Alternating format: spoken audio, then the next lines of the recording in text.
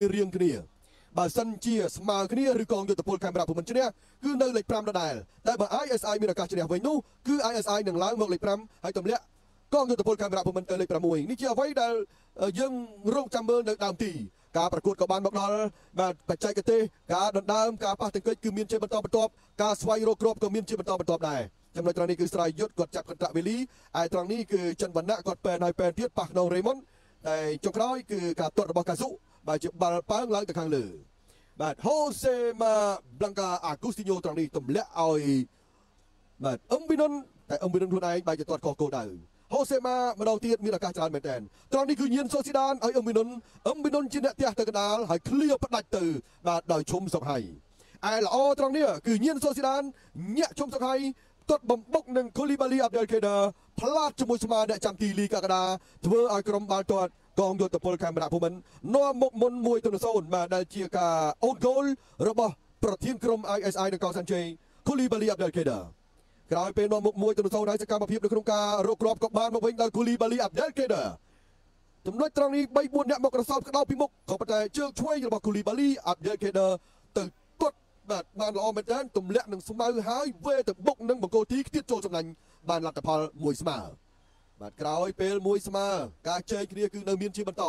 អ្វីអ្វីគឺព្យាយាមការពារយ៉ាងអស់ពីចិត្តរៀងខ្លួនត្រង់នេះញៀនសូស៊ីដានឹងចុងសុកហើយបាទទាញច្រងាប់ច្រងល់ត្រង់នេះគឺកូនីស៊ីតារេយ៉ាជាអ្នកលើកបាទហើយការតែតបន្តិចបាទរបស់ទឹកស៊ូអាគីគឺខកបំណងក្រោយមកទឹកស៊ូអាគីក៏ត្រូវដួលដោយការជែងនៅដើមគ្នាជាមួយឈុំសុកហើយ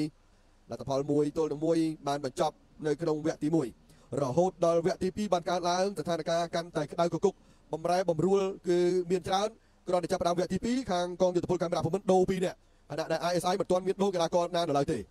ការដូរនោះគឺក្រុមបាល់ទាត់កងយុទ្ធពលកាមេរ៉ាភូមិន្ទនៅគ្រប់គ្រងបាល់បានច្រើនចំណុចត្រង់នេះគឺ Shori Murata បាទគាត់ទាត់ផ្លោងបាទបំរុងទម្លាក់ឲ្យទឹកស៊ូ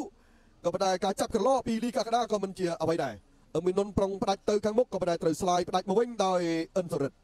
ញៀនសូស៊ីដានបាទទាត់រំលងទម្លាក់មកក៏ខុសគោលដៅនេះចំណុចដ៏ល្អមួយនេះបាទនេះសុទ្ធតែជា សកម្មភាពបាទសំខាន់សំខាន់នៅក្នុងការប្រកួតបាទត្រង់នេះគឺតេស៊ូបាទដែលដួលច្រាលទៅមុខជាមួយនឹង John Fred ឯត្រង់នេះបាទគឺ Raya រត់ទៅយកបាល់ដើម្បីកាយមកខាងក្រោយឲ្យតេស៊ូទាត់បញ្ចូលទីកងយុទ្ធពលកាមេរ៉ាភូមិន្ទក៏បាននាំមុខនៅពេលនោះតែម្ដងបាទទាញមកក្រោយតេស៊ូដែលជ្រុលចង្កូតទៅមុខបន្តិចដាក់អាយ៉ែមកក្រោយបាទទាត់បញ្ចូលទីបានសម្រេចឲ្យកងយុទ្ធពលកាមេរ៉ាភូមិន្ទនាំមុខ2ទល់នឹង1 នៅពេលដែលនាំមុខនោះហើយបាទដែលក្រុមបាល់ទាត់ ISI ចាប់ផ្ដើមធ្វើការដោះដូរកីឡាករនៅពេលដែលជិនរយងចូលនៅពេលដែលសំអល់ទីណាចូលគឺចាប់ផ្ដើមមានការគ្របសង្កត់ទៅលើក្រុមបាល់ទាត់កងយុទ្ធពលកាមេរ៉ាភូមិន្ទបាទត្រង់នេះគឺ John Fritz បាទទាញសុទ្ធហើយការសុទ្ធបន្ថែមរបស់កីឡាករ ISI ម្ដងជាពីរដងទៀតក៏នៅតែមិនបានសម្រេចដែរក្រោយមកក៏មានការទាត់បញ្ចូលទីបានសម្រេចពីខាងក្រុម ISI ទើបមានប្រតិកម្មកើតឡើងបាទឥឡូវយើងទៅមើលនៅអ្វីដែលជាការព្យាយាមសម្រុកបាទរបស់ក្រុមបាល់ទាត់ ISI នៅកៅសែនជ័យ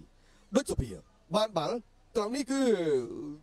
បាល់រមៀលទៅយ៉ាងល្អប៉ុន្តែដូចជាដាច់ចំហខ្លួនឯងបាទដាច់ចំហខ្លួនឯងត្រង់នេះគឺ Luis ជាអ្នកបញ្ជូនស្រ័យយុទ្ធបាទព្យាយាមការពារប៉ុន្តែផ្លាតចូលទីខ្លួនឯងបាទកាត់ទៅបានយ៉ាងល្អពេលនោះហើយដែលមានការពិនិត្យចាប់ដើមពិនិត្យមើលឃើញថាចំនួនកីឡាករបរទេសរបស់ក្រុម ISI និងកៅសានជ័យនៅលើទីលានហ្នឹងលើសបាទចឹងក្រោយការតវ៉ាអស់20នាទីទើបសម្រេចថាឲ្យកងយុទ្ធពលកាមេរ៉ាភូមិន្ទកែបាល់ទាញយកមកទាត់បញ្ចូលទីបាទយកមកទាត់បញ្ចូលទីធ្វើឲ្យលទ្ធផលគឺ3ទល់នឹង2 ដែលកងយុទ្ធពលកាមេរ៉ាភូមិន្ទដល់មុខបាទជុំស្នាតត្រង់នេះគឺមួយទៅមួយជាមួយអ្នកចាំទីប៉ុន្តែมันអាចបាទទាត់បញ្ជាអ្នកចាំទីលីកាកណាបានទេសកម្មភាពទៅវិញទៅមក Lewis Willy បាយត្រង់នេះក៏ត្រូវបានអ៊ំមីនុនបាទទាត់ចេញទៅខាងក្រៅដាក់ដែលអ៊ុំសេរីរតបាទពលឹងកងសក់ដែរបាទត្រង់នេះបាទដែលប្តីខ្លួនតែច្រើនបាល់ចេញទៅក្រៅទៅហើយបាល់ជ្រុងដោយទាត់ដោយកូនីស៊ីតារុយបាទបានត្រឹមតែតែដោយសុវឌ្ឍនា បាទតែมันបានចំគោលដៅហើយចំណុចត្រង់នេះគឺអ៊ុំស្រីរតបានបញ្ជាបាល់ចេញក្រៅទីបាទដូច្នេះចប់ការប្រកួតដល់ទៅ100នាទីជាងកងយុទ្ធ